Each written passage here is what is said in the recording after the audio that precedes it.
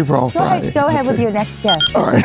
next guest is a comedian, actress, and author. You can also catch her every weekday right here on Fox 5 as one of the co-hosts of the Emmy Award-winning daytime talk show, The Real. We're talking about the one and only Loni Love. All right, tomorrow she's hosting the inaugural Salute Them Awards, which is being held virtually, by the way. And this morning she joins us to talk all about that event and her other projects as well. Hey, Loni, how you doing?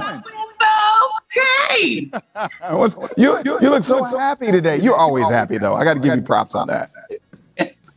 It's good to be living, you know. Um, but, but before we started, this is a solemn day as well. I Yes. just want to say condolences to everyone affected by 9 11, Yes. all the family members. We will never forget. Right. We will never, forget. Never forget. You're right, Loni. So uh, let's switch gears though and talk about uh, some some things that you're working on. The first thing, Cafe Mocha presents its first ever virtual salute them awards. Tell us about that.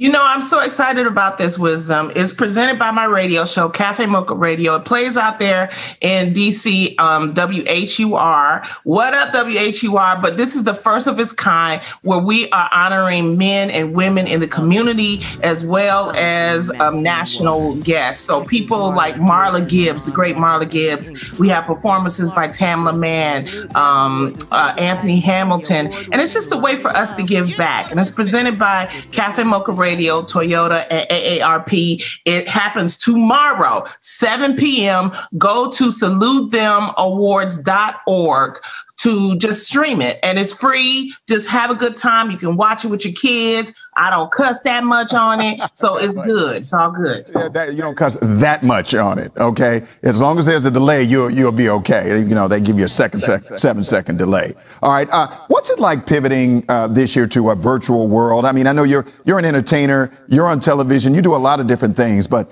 now everything has to be virtual. What is it like dealing with this new world and this new environment? Wisdom my house has turned into a studio. I mean it's literally i have lights everywhere i have a monitor um, but it's a blessing because we still need to entertain people. We need to give some type of escape for people. And so you know if we have to do it in our homes hey if i gotta look like you know i'm out in the field this is what i'm gonna do to entertain the people. It's an adjustment but it's you gotta remember it's temporary. And then we'll go back into studios but for right now it's just safer for everybody to stay you know in their own home so i feel good about it Right. And you're also you, you get more work because you're you're Bridezillas. Yes.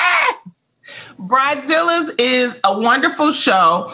Um, for 12 seasons, it's been running on We, and um, they decided to do something different this season. They wanted a new narrator, so I am now the narrator of Bridezillas because it was hit right before the pandemic. Like we had taped all of the brides. We have 11 wonderful women that um, they have drama, but they also have a lot of love, and we want to celebrate that. But I actually had to set up the studio in my closet, and I did all of the joke writing. I did all of the narrations um, right from my computer uh, in my closet as a sound studio. So it premieres next Thursday, the 24th at 10 p.m. on We. Um, I just think if you want to escape, if you want to see crazy brides, if you want to laugh at love, and there's some heartfelt moments as well, then Bridezillas is going to be the place to be. 10 p.m. on We. All right, and you're t- and uh, not that you have you don't have enough on your plate, but the talk show. What what are we doing with the talk show now? The talk show, The Real, is coming back. Two of our co hosts have left. So we have a fabulous new co host that will be introduced on the 21st, Ms. Garcelle Beauvais. And I'm so happy. Um, you know her from The Real Housewives of Beverly Hills,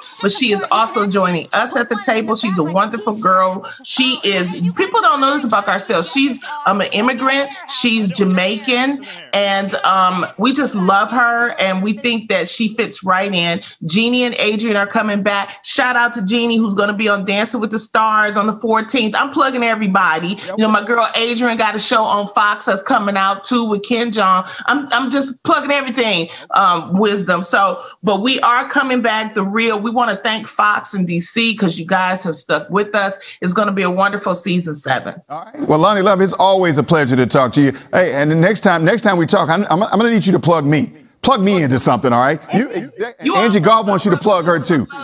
Yeah. Hook us up. That's all I'm saying. Loni Love, ladies and gentlemen. Follow me on Twitter. Take care, Loni.